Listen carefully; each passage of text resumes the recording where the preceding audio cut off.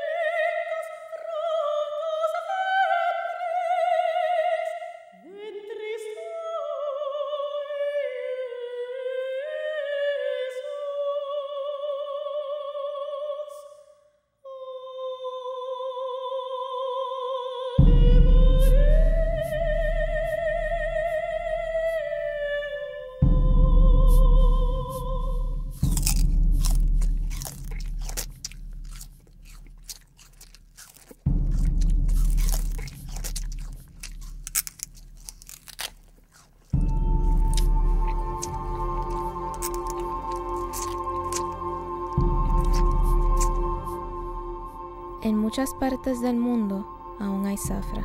En la República Dominicana, siglo XXI. Zafra. Todavía tienen, Tienen zafra. zafra. Son los Son los haitianos haitianos los que la cortan. los que la cortan.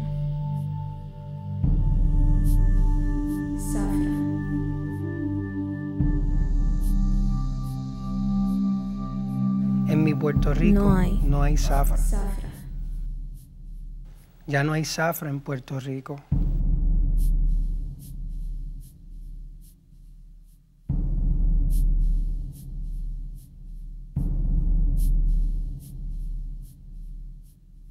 Los orígenes de la caña se pueden remontar hacia el siglo, digamos, séptimo, octavo, noveno, en la zona de la Polinesia, en el Pacífico Sur. La caña de azúcar pasó a la India y de la India por tierra pasó al sur de la China, a la Cochinchina y a la Indochina. En el siglo XI, gracias a la invención del trapetum o trapiche por Pietro Speciale, una prensa que extraía el jugo de la caña, surge la edad de oro del azúcar. La caña de azúcar pues era exprimida en trapiches de madera movido por fuerza animal y luego por fuerza de vapor, eh, como, conocidos como molinos. Las primeras plantas fueron traídas al Nuevo Mundo por Cristóbal Colón a la República Dominicana en el año 1493. El siglo XVIII eh, trajo la revolución industrial, nueva maquinaria para la industria azucarera, las haciendas se fueron renovando, entró el vapor para a, este, mejorar la extracción del guarapo de caña en los molinos, en estas haciendas, y luego pues así continuó durante el siglo XIX con mejoras técnicas que venían prácticamente de eh, España, de Francia y de otras islas caribeñas. Se autorizó la importación de esclavos negros desde las Antillas en el 1518, estableciéndose mayormente en la zona costera de la isla. Los esclavos que fueron trasladados a Puerto Rico fundamentalmente llegaron desde la costa oeste de África, no del norte de África, no del este de África o del sur, sino de la parte oeste de África. hubo esclavos en nuestro país. Ya desde principios del siglo XIX, quizás hacia 1810, se dejó de importarlos directamente del África, por lo menos de manera legal, y luego se, se compraron a otras Antillas vecinas, esclavos también, todo para cultivar la caña de azúcar y no hay que dudar que otros productos agrícolas también. El esclavo, aunque no recibía salario por su trabajo, tenía satisfecha muchas necesidades básicas. Con arduo tesón, el negro esclavo día a día trabajaba largas horas en el cañaveral. La vida del esclavo tiene que haber sido una de mucho sacrificio, de mucha explotación, de mucho trabajo. En otras palabras, de trabajar eh, posiblemente unas 13 horas diariamente. El azúcar trajo esclavitud. Y en Puerto Rico, como en esta parte, el número de esclavos varones es casi igual al número de las mujeres. Y las mujeres eran también macheteras, como eran los hombres. Con la llegada de los esclavos, nace en medio del cañaveral un género musical puertorriqueño, el cual era utilizado por ellos a manera de recreación, llamado la bomba.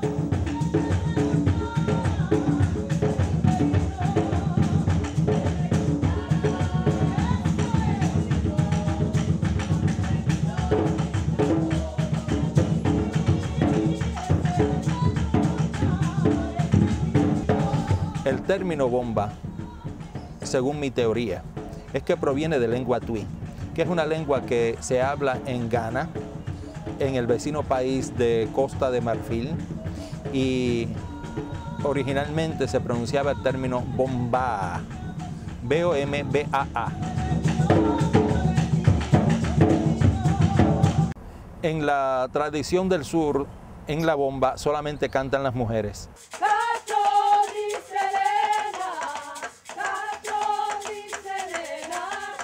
Los hombres tocan la percusión, que son los dos tambores y los cuas. Las mujeres son las que cantan, llevan la voz cantante literalmente. La solista, la cantante principal, es la que toca la maraca y establece el ritmo y el tempo. Y ambos géneros, el hombre y la mujer, se unen en el área del baile. Siempre en la bomba del sur se baila en parejas. Puede haber una pareja, dos parejas, diez parejas, ochenta parejas, pero siempre en parejas. Y en cierto momento de, vamos a decir, de, de furor durante el baile o desde la música, puede acercarse una pareja al tambor primo, el tambor que se usa para los repiques, y el caballero de la pareja puede iniciar un desafío o un diálogo con el músico del tambor primo, mientras que la dama se queda en la periferia, pero no muy lejos de él, porque no dejan de ser una pareja.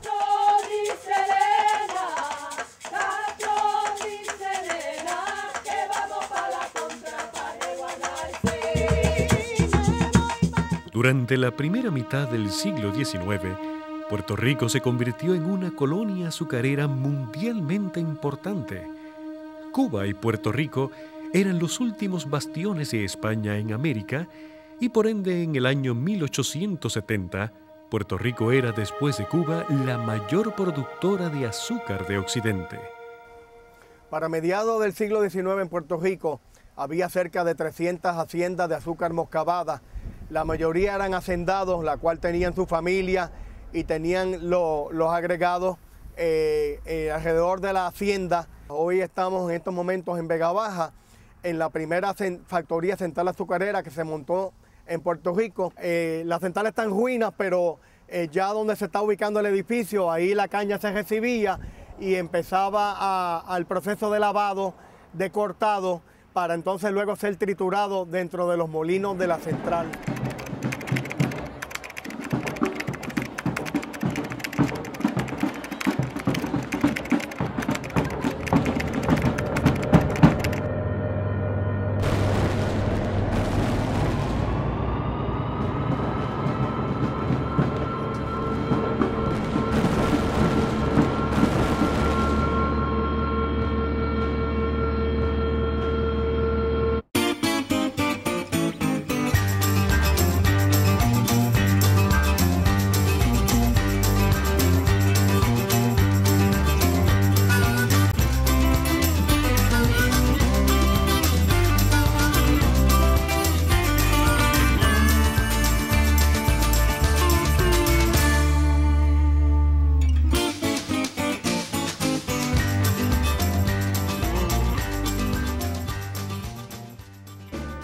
10 de diciembre se firmaba el Tratado de París, transfiriendo la soberanía que tenía España sobre Puerto Rico a los Estados Unidos.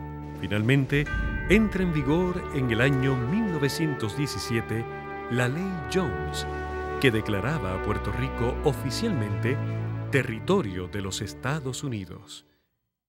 A pesar de que el proceso de centralización, o sea, de la creación de centrales azucareras en Puerto Rico, comienza en 1873, tras la abolición de la esclavitud, no es hasta la llegada masiva de capital norteamericano como consecuencia de la invasión del 1898 que la industria azucarera recobra en la posición hegemónica que tenía desde el siglo XIX, cuando allá a mediados pues lo pierde con la subida de los precios del café y no es hasta ahora, con la llegada de los norteamericanos, que recobra este umbral eh, en cuanto a la producción. No es que descubrieran el Orinoco, no es que se descubriera que esas tierras eran buenas para el azúcar, es que ya lo eran. A raíz de la guerra hispanoamericana, ya en Puerto Rico había operando 39 factorías centrales azucareras y teníamos un número cercano a unas 200 haciendas de azúcar moscabada. ¿En qué los Estados Unidos invirtieron la mayor cantidad de capital en Puerto Rico a partir del 1900? Sin duda fue en el azúcar. No fue en ninguna otra empresa que no haya sido en el azúcar. La caña influyó en la formación étnica y social de los puertorriqueños. Durante las décadas del 1900 al 1940, la mayoría de los puertorriqueños estuvieron vinculados de forma directa o indirecta con la producción azucarera.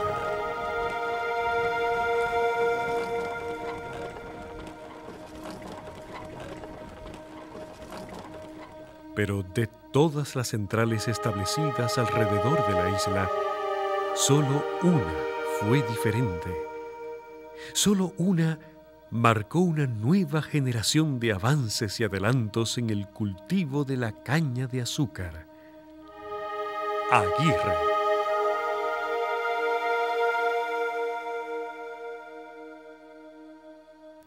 Los valles costeros comenzarían a cubrirse con este cultivo, cuya producción se concentraría en cuatro grandes corporaciones. La Fajardo Sugar Company, South Puerto Rico Sugar, Central Aguirre y United Puerto Rico Sugar Company. En sus comienzos, hubo atropellos laborales de grandes proporciones entre la agricultura y las industrias que se convertían en muros impenetrables ante cualquier intento de intervención del gobierno local dirigido desde los Estados Unidos como un territorio sometido. Bajo la política del New Deal del 1934, propuesta por el presidente Franklin Delano Roosevelt, la inversión estadounidense en la economía y bienestar de Puerto Rico fue una sin precedentes y mucho menos vista bajo el dominio español. Este gran desarrollo del azúcar puertorriqueña en el siglo XX, que nunca se había visto un desarrollo tan grande como este,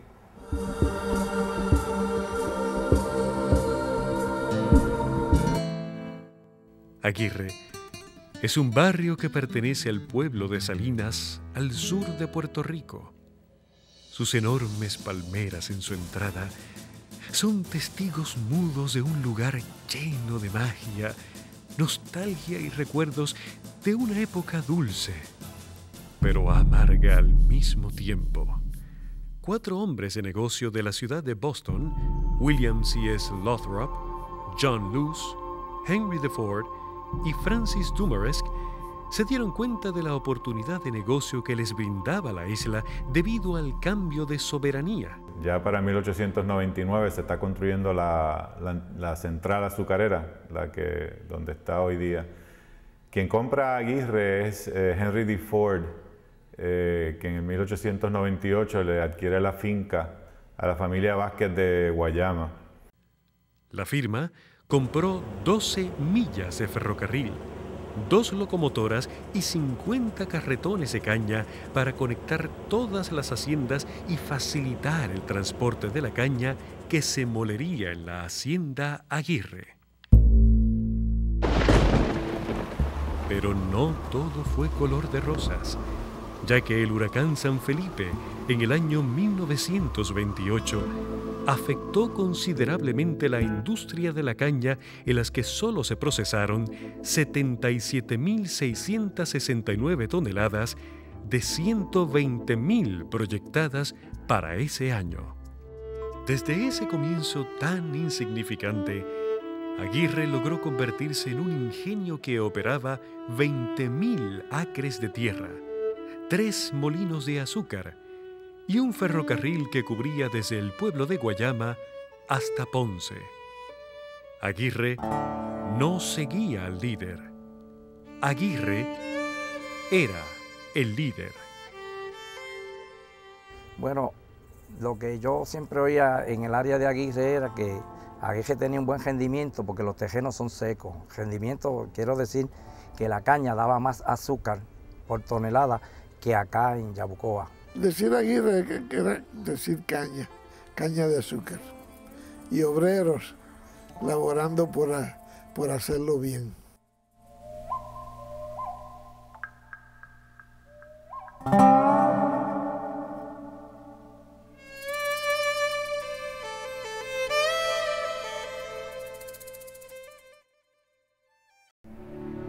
El entrar al poblado de Aguirre es transportarnos a una época en la que la división de clases sociales era evidente.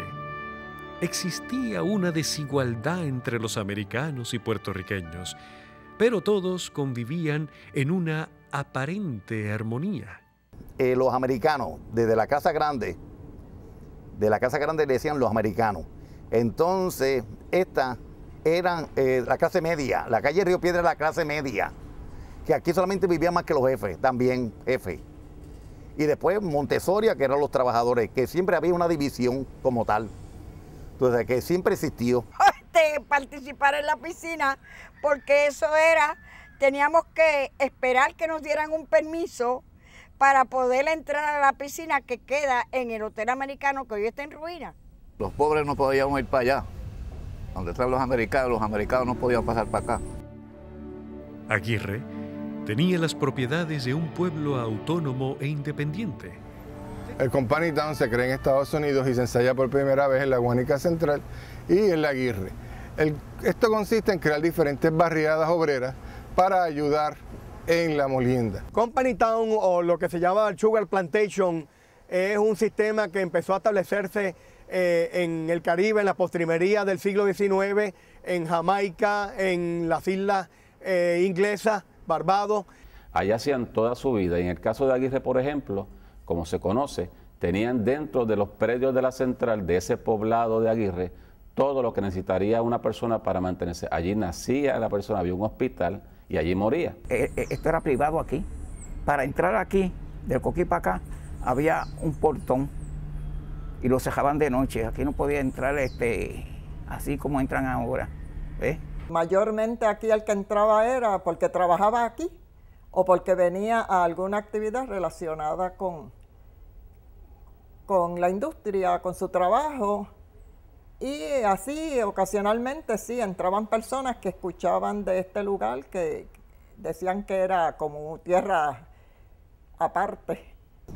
Hospital. Telégrafo. Su lechería. Teatro. Cuartel de policía. La primera bolera fue en Aguije iglesia católica, protestante. Fábrica de helado, helados mento. Banco.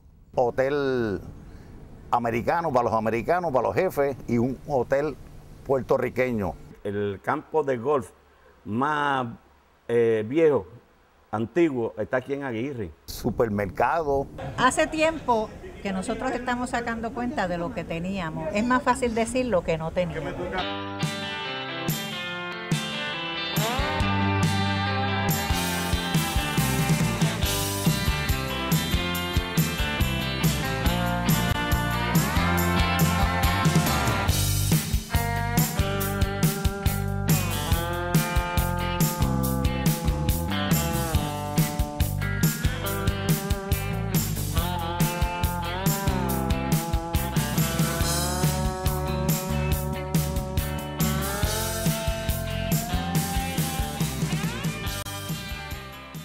Era autosuficiente, no, había necesidad de salir fuera de la central de Aguirre para adquirir nada. Y de hecho, los primeros sueldos que se pagaban se pagaban en moneda acuñada por la central y solamente se podían cambiar en la, en, la tienda.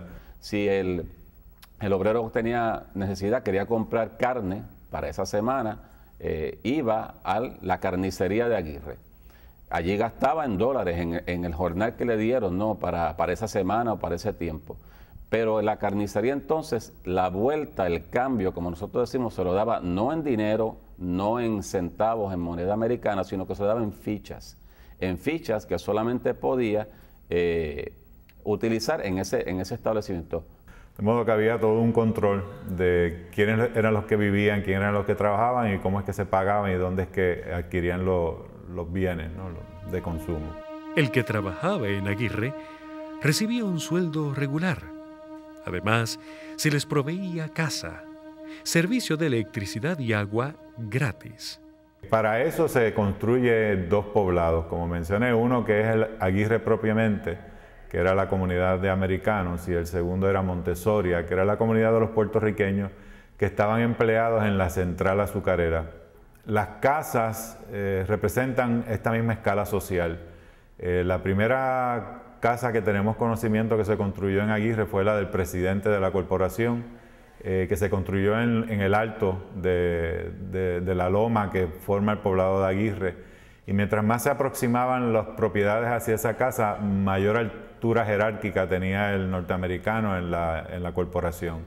Allí las casas todas estaban sobre soco. Eh, la diferencia en la topografía se cogía con la diferencia en la altura de, esos socos. Eh, y, y, las casas estaban levantadas del nivel de tierra para que pudiese ventilar eh, y la humedad no entrase dentro de la casa, pisos de madera. Eh, igual tenían unos balcones que le daban vuelta, por lo menos a tres lados de la casa que facilitaba el que el interior de la casa se conservase en sombra eh, y así evitar la entrada del calor. Aquí se le daba un servicio, la central le daba unos servicios, tenía su, un personal de carpinteros, de pintores, que le daban mantenimiento a las casas. Vivir en Aguirre era como vivir en un paraíso. Era una comunidad donde la compañía atendía a todo el mundo de una forma u otra. Eh, la compañía pintaba tu casa, la compañía fumigaba tu casa, la compañía eh, te celebraba las navidades, la compañía hacía regalos en Día de Reyes, el Día de Navidad, tanto a, los de Aguirre como los de Montesoria. O sea que la compañía estaba allí siempre presente. Eh, las estructuras se han ido deteriorando. Actualmente eh, muchas de ellas están en mal estado, otras han sido destruidas, otras han sido intervenidas de una manera completamente inapropiada para lo que es el sentido ese de la buena vida eh, que existía en Aguirre. Poco a poco fue transformando toda la región sur de Puerto Rico sentando las bases de un ingenio azucarero que sería el más poderoso de toda la isla.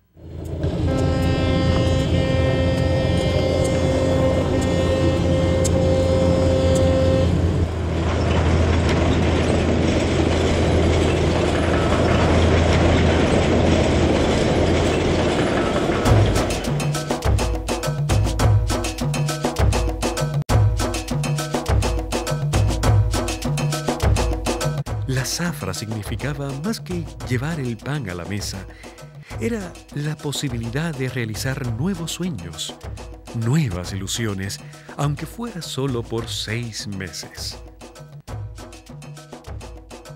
Cuando llegaba la zafra, esa era la época de más cosas y de más alegría, porque era la época de, de trabajo. Eran seis meses de abundancia donde yo podía eh, trabajar, a veces había trabajo de más de 12 horas, pero era que estaban acumulando dinero. Había que guardar todo ese dinero porque en los próximos seis meses no iba a haber trabajo. O sea, es que era muy importante tener, asegurar esos seis meses del proceso de la zafra durante ese año. La, zafra empezaba en Aguirre en, en, enero. A principio empezaba en diciembre, pero había mucha dificultad por los días de fiesta y por la mucha lluvia que había en diciembre aquí. Y entonces cambiaron la molienda para enero. Después del 6 de enero se empezaba la molienda. Y lo primero que uno veía antes de la molienda era ver la chimenea, botar humo Y ahí todo el mundo decía, ya va a empezar la zafra, porque empezaban a calentar los, molinos y, a bregar. A las cinco y media de la mañana el, mayordomo era que este, escogía el grupo que iba a cortar en esa colonia de caña, en los cañaverales, y se hacían los grupos de trabajo que comenzaban a trabajar eh, de 6 de la mañana hasta cerca de las 6 de la tarde, cerca de 12 horas. Era un, trabajo extenuante. Eh, muchos de estos obreros picaban más de media eh, cuerda de, caña. Era, era caliente, te digo la verdad, era un trabajo bastante, tú sabes lo que es uno tal en el sol, en el sol cortando caña desde las 7 hasta las 11 que tú salías a almorzar y después empezaba a las 12 hasta las 4 otra vez. Y tú cuando cortas caña, a veces cortas una caña y la agarras y entonces hay un cien pies que te pica, hay un alacrán que te pica. Las hormigas tenían sus casas en los troncos de, la, de las cepas de caña. Y era, además era ocho horas al sol puro o sea, tú lo que tenías era un sombrero de paja para protegerte, pero eran ocho horas bien duras. Yo creo que ese humo se veía hasta cuamo, porque esto se llenaba de público, de gente eh, para buscar trabajo. Bueno, empecé trabajando en la, eh, gajetillando azúcar, sacos de 315 libras. Después fui por ahí, por ahí, el trabajo se escaseó y me fui para pa Fejovía era engrasado. Había vida. Se respiraba el olor a melao. El machete del obrero se dejaba sentir bajo el candente sol que castigaba sin misericordia. Se ha hecho una vida. Aquí no, no, tú sabes, no, no. Había, eh, existía el ay bendito ese. Para los años 40, esto aquí era cuando la central estaba en todo su apogeo. La mujer entraba con machete en mano a picar caña también. Las había.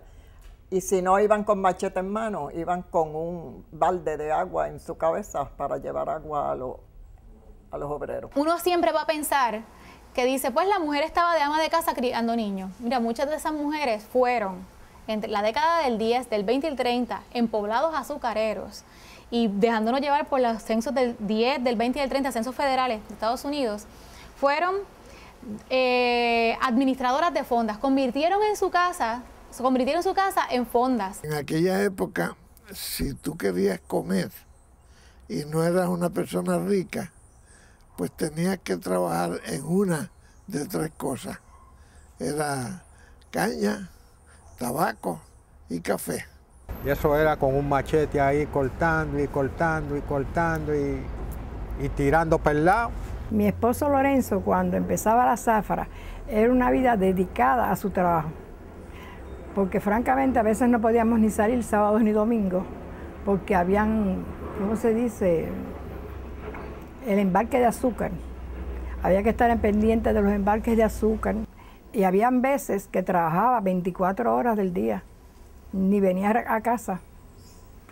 La labor en la central era eh, gerente de producción, y prácticamente estaba eh, a cargo de todo.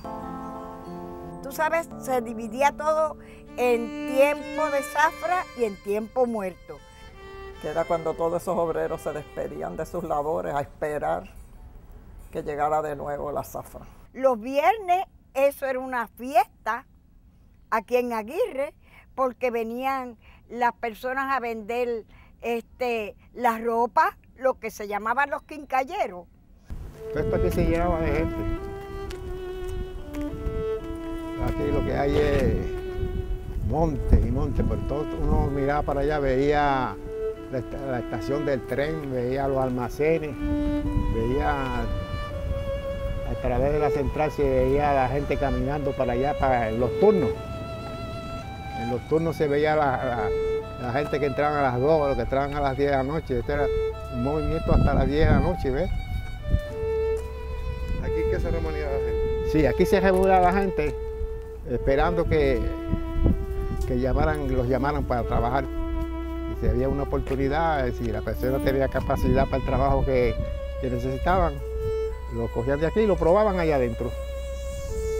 Si daba el grado, pues se quedaba aquí trabajando. ¿Qué opinas al ver, este? Ah, no, esto ha sido, ha sido una, como si fuera una calamidad. Como si, como, bueno, una cosa terrible esto. Ya no hay vida. Ya no hay vida, no hay vida. La vida, la vida eh, se, se detuvo aquí, la vida. La vida y el movimiento se detuvieron aquí.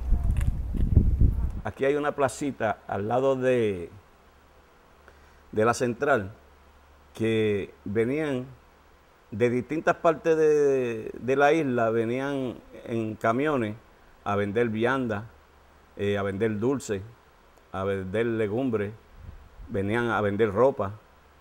Toda clase de cosas venían a venderlo. Y ahí tú veías a los trabajadores con lo poco que se ganaban, tú veías la alegría que ellos sentían, aún con sus hijos y sus esposas, comprando en, en- esa placita.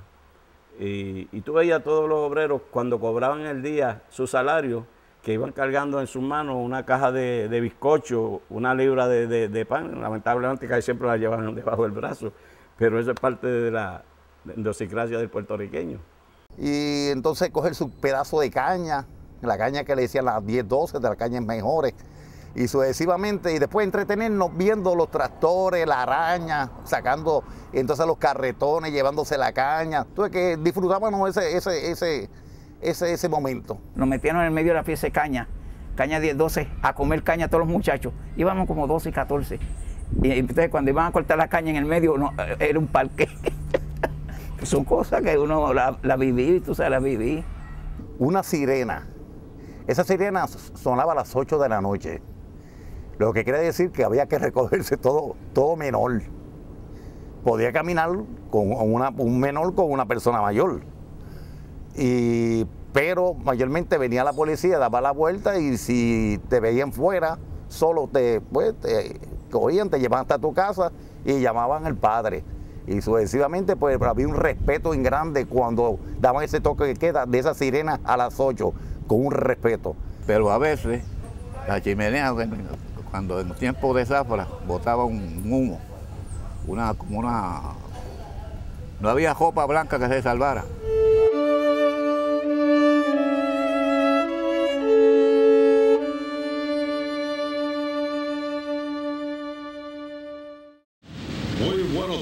Amigos televidentes, nos encontramos aquí en la Central Aguirre. Este es un amanecer más para los obreros de la Central Aguirre. Gracias a Dios todavía quedan algunos amaneceres, pero ya pronto no veremos más este lindo amanecer que se entristecerá con el recuerdo de la Central Aguirre.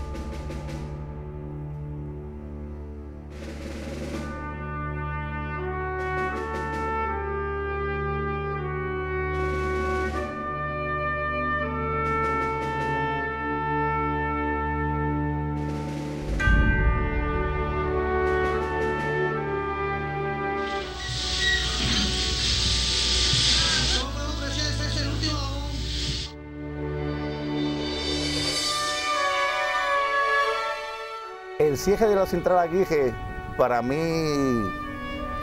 fue algo muy triste, porque yo empecé a trabajar en el 1964, el 2 de julio de 1964, y llegar a, como dice, ese día y saber que era el último día, tú sabes, de- del último trolley que iba a pasar con su caña a la molienda.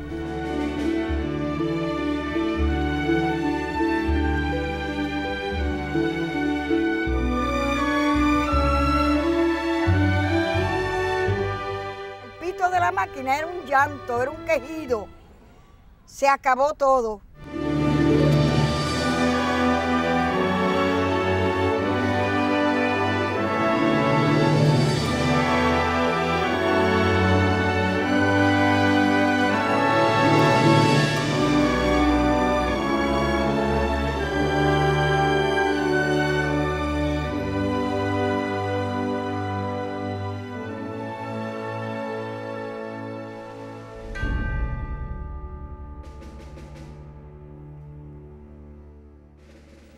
En un abrir y cerrar de ojos, lo que una vez fue considerado como un gigante en la industria azucarera, se desvanecía frente a miradas atónitas de padres y madres de familias que veían tronchados sus sueños y anhelos. Yo me enteré casi seguida que iba a que se empezó a planificar por cuanto yo era este, la secretaria del, del director para esa época. Y poco a poco me fui enterando de todo lo que se iba a ir desapareciendo, lo que fue de, como una carga para mí, porque no era fácil saber y tener que callar. Para mí es una experiencia que no puedo olvidar toda la vida, ya que me vi envuelto en el cierre de Central Guánica y viví aquellos tiempos cuando había mucha necesidad que los obreros de trabajar y llega la noticia que le cierran la central guánica. Pues eso mismo sucedió en Aguirre. Cuando ya llegando la noche llega la noticia de que la central Aguirre se iba a cerrar, pues que el pueblo se tiró para la central. Este, un obrero fue y empezó a tocar el pito de cuando los obreros este, por, por ese pito entraban y salían a trabajar y se notaba la tristeza. Y, y son cosas que uno no puede olvidar. Era muy doloroso tener que tomar esta decisión. Acababa de hacer unas cinco o seis cartas de despido y salía fuera de la oficina y escuchaba a uno o dos de esas personas diciendo a mí como yo voy a durar aquí hasta que termine todo porque yo hago esto, yo hago lo otro y ya yo sabía que la carta estaba preparada. Y venía a mi casa a llorar. Y, y me da nostalgia hablando solo, como los locos, como uno dice, paso por el sitio tan precioso que ve esto con, con las piezas de caña a los lados y tú veías a los trabajadores y veías las máquinas. Cuando quitaron la central, que llorábamos, llorábamos, este, el, el toque de queda lloraba también. Al subir eh, alta, demasiado alto los costos de, eh, la, eh, del campo y, y de la fábrica, en las centrales de Puerto Rico.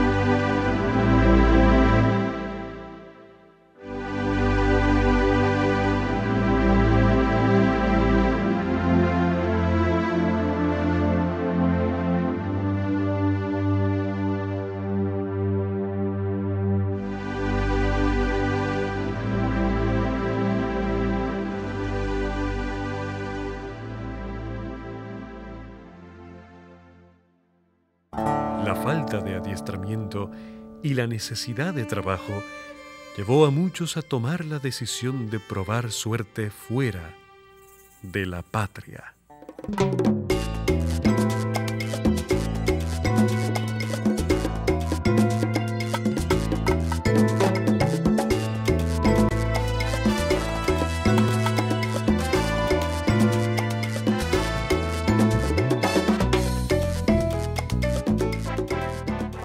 Los puertorriqueños comenzaron, o sea, comienzan a emigrar hacia los Estados Unidos. Eh, migración que se hizo muy fácil porque esta migración, por los puertorriqueños tener la ciudadanía americana eh, bajo la ley Jones, emigra masivamente hacia los Estados Unidos, ¿verdad? Este, eso significó un cambio, este, esa experiencia migratoria significó un cambio drástico para los puertorriqueños que fueron, pero también tuvo un efecto en la isla porque ya para 1940 comienza a contemplarse la posibilidad de que Puerto Rico cambiara su estructura económica de un país agrícola a un país manufacturero. La gran migración de los 50 y los 60 es un ejemplo de esto. Muchos buscaron nuevo porvenir en Nueva York y en las ciudades del este de los Estados Unidos al no conseguir empleos remunerados en las grandes ciudades otros se movieron a lo que llamamos ahora cinturones de pobreza, pero que en los años 50 y 60 eran los famosos arrabales, como eran Fanguito, Toquío y eh, los arrabales asociados al caño Martín Peña. Fue muy duro el acostumbrarse a un país totalmente extraño y más aún dejar atrás el barrio, la tierra, la caña, a Puerto Rico. Bueno, en Nueva York hago que estoy más o menos como 40 años, de 35 a 40 años. Bueno, estoy acostumbrado, sí, para, estoy acostumbrado porque aquí ya mis hijos crecieron, gracias a Dios, y tuve una familia bastante grande, crié 14, imagínatelo. Eh, a Nueva York, pues resulta que el hermano mío el hermano mío estaba acá, el mayor. Entonces, como a los tres, en el 54, en el 54, pues me mandó a buscar para que le trayera la hija que es la mamá de Camacho, Macho Camacho. Ah, yo llevo viviendo en Nueva York unos 50 años. Para ese tiempo, en Puerto Rico te pagaban 3 pesos por, por día. Bueno, extraño este, el guarapo de caña, este, la fruta, el calor de Puerto Rico, que ya no, no lo recibo porque este país es de, dos fases, este, frío y calor. En la parte de nosotros siempre está a 90. Los puertorriqueños emigraron, pero el idioma ni siquiera fue un obstáculo porque como realmente había tanto trabajo, recuérdese que para la década del 30 eh, ya, ya Estados Unidos había repuesto de la Primera Guerra Mundial, así que era una economía prácticamente eh, efervesciente, eh, ¿verdad? con muchísimo desarrollo económico, así que pudo absorber realmente esta población de puertorriqueños. Estas personas pues emigraron y se insertaron en la industria de la aguja en Estados Unidos, en la manufactura. Y también muchos trabajaron en los campos, ¿no? Por eso es que si usted le pregunta a algunas personas, pues decían que los puertorriqueños no recogían café, ni trabajaba en la caña de azúcar en Puerto Rico, pero entonces allí iban a recoger tomate.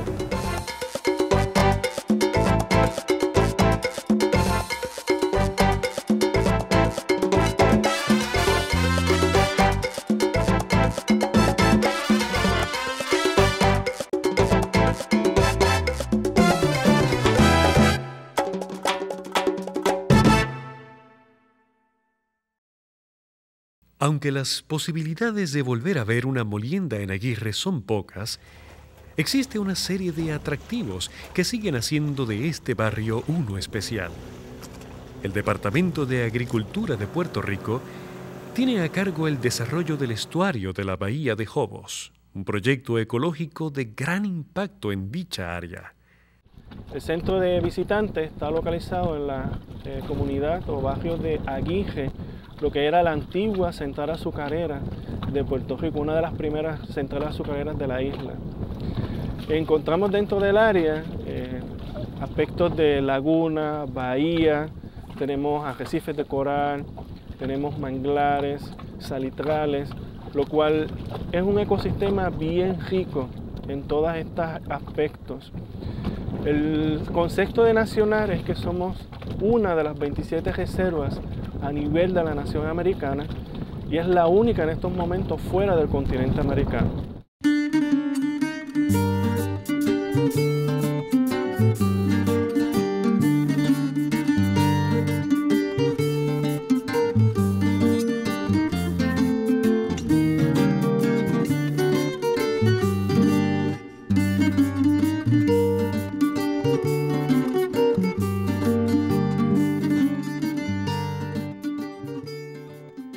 ¿Acaso podremos volver a ver caña de azúcar sembrada en nuestra tierra nuevamente? Podemos volver a ver caña sembrada en Puerto Rico.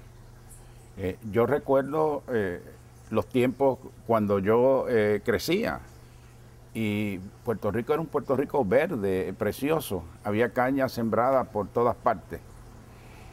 Podemos volverlo a hacer, pero no para una industria azucarera como la conocimos anteriormente, sino para la producción de energía a través del etanol. Muchos científicos apuestan a que la crisis energética seguirá en aumento por los próximos años y han expresado que hay que buscar alternativas viables para enfrentarla. ¿Podrá ser la caña la solución a este problema? El etanol, que es al cual no me voy a referir, es un alcohol que no es dañino al ser humano y eso lo vamos a obtener en este caso de algunos productos que los tenemos aquí mismo en Puerto Rico y nosotros podemos obtener etanol de la caña de azúcar. En especial en la cosecha de caña ha sido muy favorable ya que pues de la caña como obtenemos eh, obviamente azúcar, eh, azúcares simples, pues la, la reacción química es básicamente fácil porque lo que extraemos pues del azúcar simple, lo que hacemos que a, nivel biológico, pues le echamos una levadura, ahí pues ocurre una fermentación y de la fermentación pues obtenemos un alcohol. Eh, podríamos llegar hasta un 98-99% de pureza, el cual pues obviamente la efectividad es muy favorable. Hoy en día la tecnología permite que se puedan construir unos ingenios que cuesten mucho menos de lo que costaban en el pasado, aunque la central Roy y la central Coloso en Aguada y Roy en Yabucoa tienen la infraestructura, quizás con una remodelación que obviamente son costosas y son millonarias, podrían estar listas para moler la caña. De no ser así, la alternativa es construir nuevos ingenios con mayor adelanto tecnológico, más pequeños y quizás mucho más costo efectivo. Pues junto con otros compañeros de aquí mismo de la universidad hemos recurrido a, a obtener etanol para mezclarlo con la gasolina. Nosotros mezclamos unas proporciones de etanol con gasolina regular y obtenemos un beneficio grandísimo en el automóvil en cuestiones de rendimiento, no contaminación del ambiente, de performance en el, en el automóvil. Así es que necesitamos entonces saber cómo podemos obtener el, ese etanol. El etanol pues lo, lo vamos a producir de la caña, en este caso de azúcar. En Estados Unidos el pasado año el ganador de las 500 millas de Indianápolis, el vehículo fue conducido y ganó utilizando exclusivamente etanol, 100% etanol, lo que demuestra eh, el alto grado de combustión que tiene el etanol. Y en el caso de cómo mejor se produce, también se ha demostrado que la caña de azúcar es tres veces superior en la producción del etanol y de la combustión que lo que es el maíz o la soya.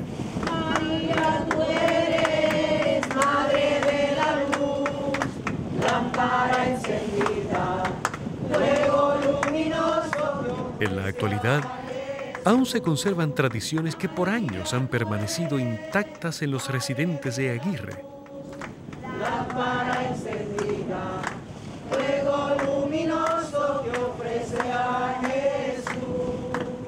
Eh, por ejemplo, el Día de Reyes se acostumbraba dar un paseo en el tren eh, que se hacía en el recorrido desde Aguirre hasta Santa Isabel. ¿Ves? Primero paseaban los americanitos, los hijos de los americanos. Luego, en el segundo viaje, era que íbamos los puertorriqueños, porque no podíamos este, eh, unirnos a ese grupo. de Reyes, o no tanto de Reyes como en el tiempo de Navidad. Esto era una cosa tan preciosa. Todo el mundo con sus arbolitos, eh, las casas bien pintaditas, todo el mundo con, eh, si no es su árbol dentro, o con su árbol dentro, un arbolito preparado y su jardín otro arbolito. Y esto es una cosa preciosa que realmente pues eh, es inolvidable. En nuestros tiempos, quedan personas que se niegan a ver desaparecidas nuestras costumbres. Una de ellas lo es el preparar el guarapo. Para muchos, este néctar de los dioses sigue siendo una bebida refrescante que se saca exprimiendo la caña y sacando ese extracto dulce. En Puerto Rico, son muy pocos los que aún se dedican a preparar esta delicia puertorriqueña, pero con mucho orgullo mantienen viva la tradición. Fue una vida bonita, una vida sacrificada, pero se ganaba muy poco, por eso dinero rendía. Una vida placentera, tranquila, este, de amistad. Y, que mis hijos en verdad todavía añoran esos momentos de su vida en, en las centrales. Porque fue una vida este, sana. Yo añoro el olor a azúcar, el ver al entrar por las palmas, ver moverse las guajanas de la caña. Aguirre es y será un ingenio azucarero para la historia. Denme un cielo cubierto de estrellas, un mar rabioso, un cielo ideal, y me parece estar en ese pequeño sitio. Aguirre, simplemente un lugar incomparable.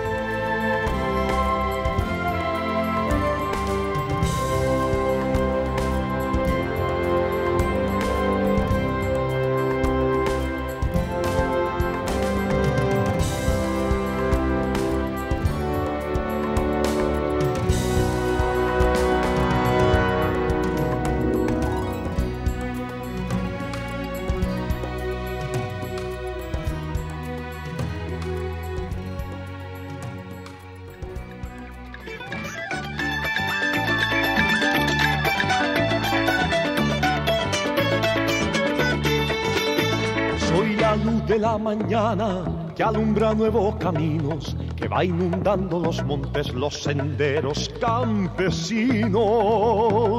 Soy el fruto del futuro, la semilla de mañana, sembrada en estiércol puro de mi tierra borincana. Soy un pescador de sueños, voy buscando un mar de espumas, de caracolas y arenas, de sirenas y de lunas, de estrellas y de horizontes se compone mi fortuna. Soy gaviota navegante y astronauta de la bruma. Soy del pan la levadura que alimenta la esperanza del hombre puertorriqueño, del despertar de mi patria. Traigo sangre borinqueña, soy hijo de la palmera, de los campos y los ríos y del cantar del coquín, de valles y cafetales, de caña, azúcar y piña, de guayaba y mampostiales, de tembleque y de maní. Traigo sangre borinqueña, soy hijo de palmera, de los campos y los ríos y del cantar del coquí, de valles y cafetales, de caña, azúcar y piña, de guayaba y mampostiales, de tembleque y de madí. Traigo sangre borinqueña, soy hijo de la palmera, de los campos y los ríos y del cantar del coquí, de valles y cafetales, de caña, azúcar y piña, de guayaba y mampostiales, de tembleque y de madí. Traigo sangre borinqueña, soy hijo de la palmera, de los campos y los ríos y del cantar del coquí, de valles y cafetales, de caña, azúcar y piña, de guayaba y mampostiales, de tembleque y de madí.